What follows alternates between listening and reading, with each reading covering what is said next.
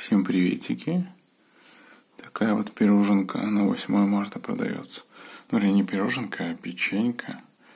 Типа, да, такая печенька. Прикольная, кстати. Такое в виде сер... ну, такое сердечко. На нем написано 8 марта и такие всякие вот вкусняшки, типа.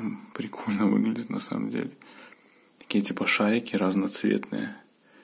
Там даже маленькие сердечки есть, вон они, белое, розовое.